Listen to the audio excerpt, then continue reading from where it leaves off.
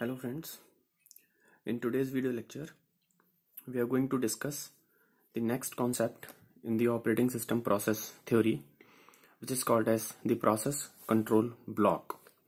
And in short it is called as PCB or sometimes also asked as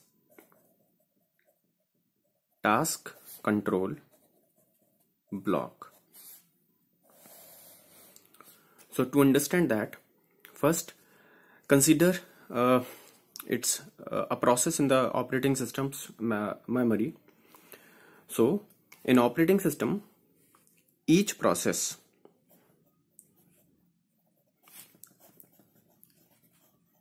each process is represented by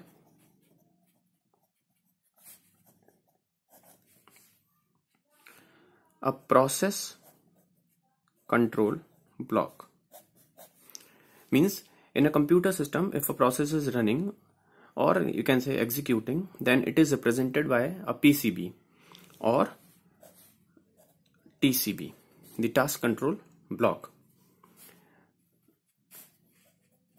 It is a kind of you know data structure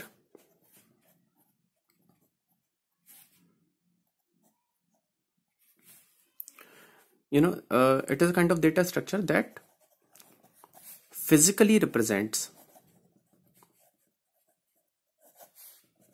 physically represents a process in the memory of computer means it is used to represent the physical structure of a process in the memory of a computer. So it contains many information. As we know when a process is running in the computer system it contains uh, you know uh, it consists of various uh, information associated with with it. So uh, PCB is used to represent that uh, information. So it contains many pieces of information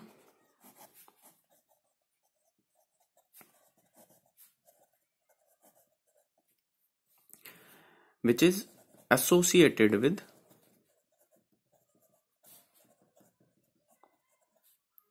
a process.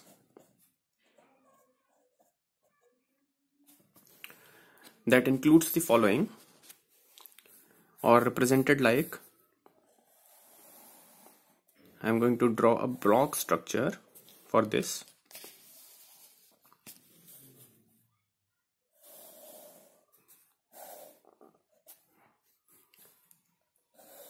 in which first part contains two information which is called as a pointer part and this is called as process state part.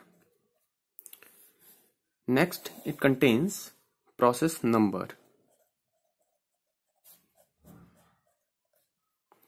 Then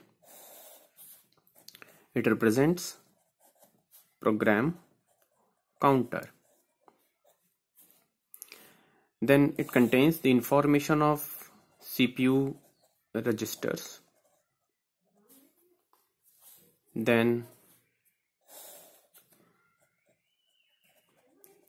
memory information in the form of memory limits of a process.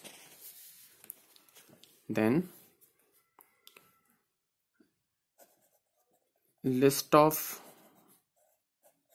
open files and so on. And many small small information. So if we see this process state is nothing but we discussed in the last lecture the process life cycle or the process state transition diagram. So it they may be new ready running you know waiting and terminated etc the process number denotes the process ID which in computer system allocates to a particular process. Just like our row numbers in the class every process is you know containing a unique id with it which is denoted by this process number.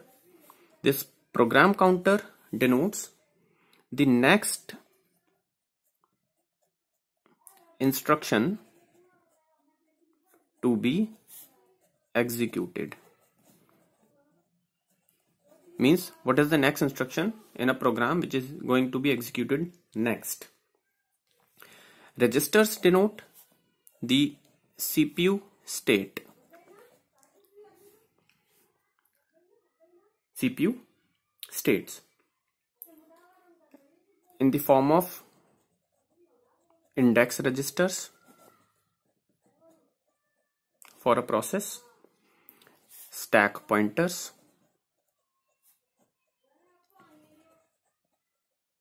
etc. stack pointers, etc. This memory limit information contains the memory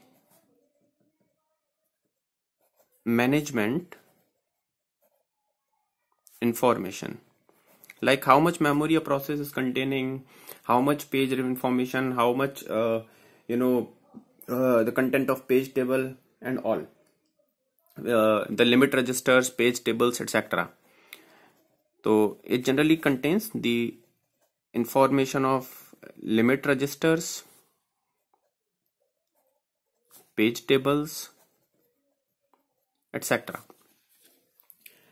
And at last, this list of open files is nothing but the IO state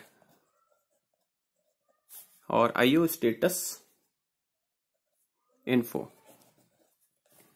that is what are the input output devices a process is using and uh, what are the various files or uh, input files or output files a process is using for its execution this is denoted by this list of open files information.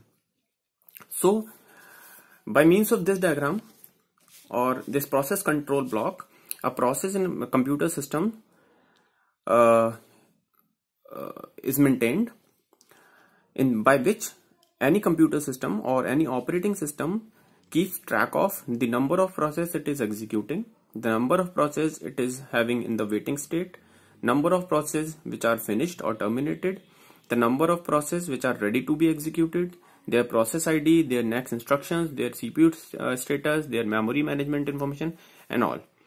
So by means of this, a process, uh, a computer system keeps track. Thank you so much. In the next lecture, we will discuss the concept of process switching with the help of PCBs. Thank you.